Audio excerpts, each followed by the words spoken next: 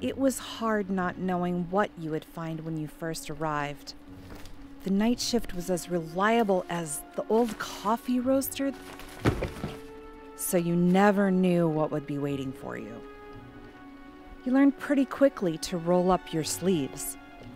Because the one thing the people needed more than coffee was a friend.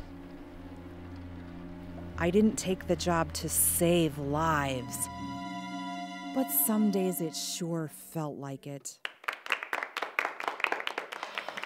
She can't be serious. Oh, she is. Oh, Thank you. Wow. Weren't you two like best friends when she worked here? You know, every one of these stories reminds me of the long days I spent working behind the counter and those long nights writing this brave, inspirational novel.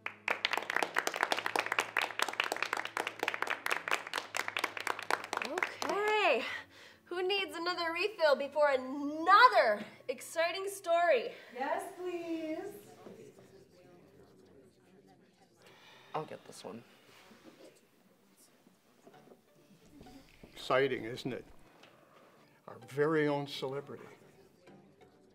Paul, just the other day you were complaining about how she stole your story and put it in her silly little book. Still, it's good to see she's doing well. Uh, okay, okay, this is a good one.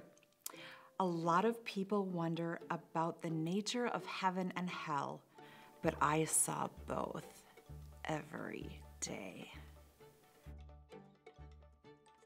Heaven took place at exactly 8 p.m. every night. The darkness would give way to the light at the end of the tunnel, closing time. And hell? Well, all I know is if you were on bathroom duty after the morning rush, you at least knew what hell smelled like.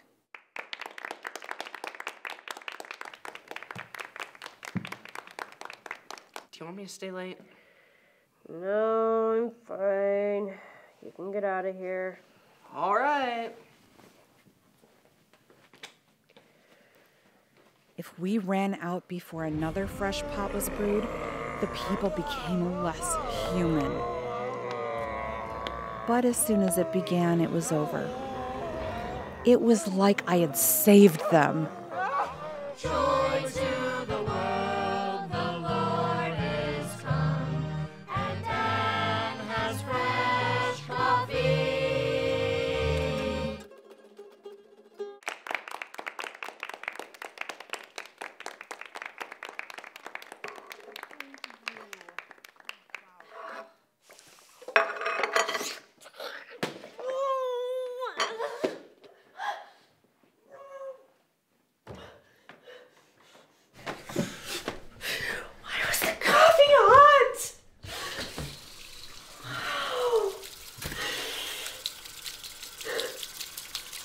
Hey, Joe.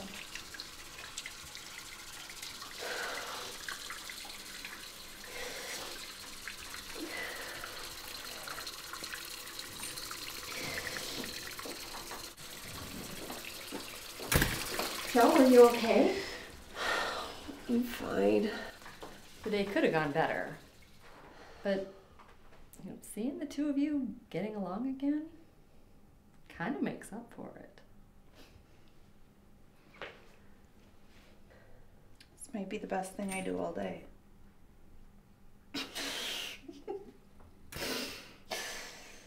Well, they seem to be enjoying the event.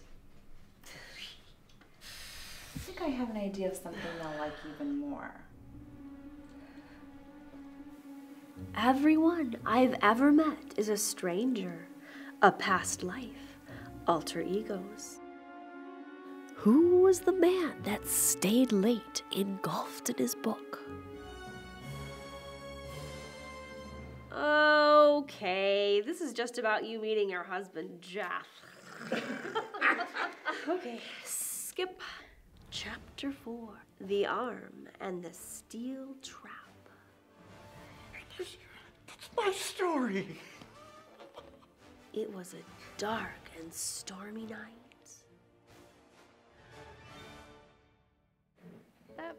Be more coffee. Actually, tea. Mm. Guess you could call it a cup of humility. It's been a good day.